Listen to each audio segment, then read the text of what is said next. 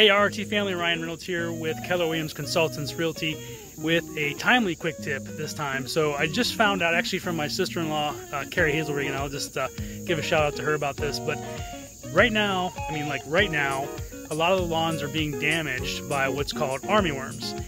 And if you can sort of see behind me, I've got some brown spots on my lawn there, and I'll show you a close-up here in a second. But what's happening is these armyworms are basically a larval stage of a moth but they eat a lot of grass and it will totally decimate your yard in just a matter of time. So let me flip this camera around and so you can see. Okay, so you see this little guy right here? That is an army worm. And what he's doing, he's looking around trying to find dinner time, I think. And if you look at my grass, you can see I've got some brown spots all throughout my yard. And if you look real close, you can see um, different places where it's moving.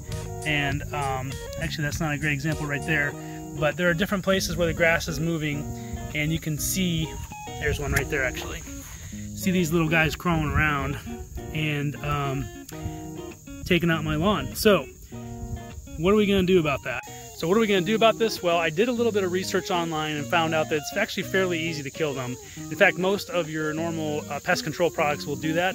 So like Sevin or any of your um, granule type things, Ortho makes one, I believe that'll, that'll you can put down and water in and it'll take care of it. But the key is to act fast. Uh, if you don't want to do it yourself, which I probably almost wouldn't recommend for most people, just call your local um, uh, lawn lawn care people and have them come out and spray them. But if they get too backed up, um, maybe have to take care of it yourself.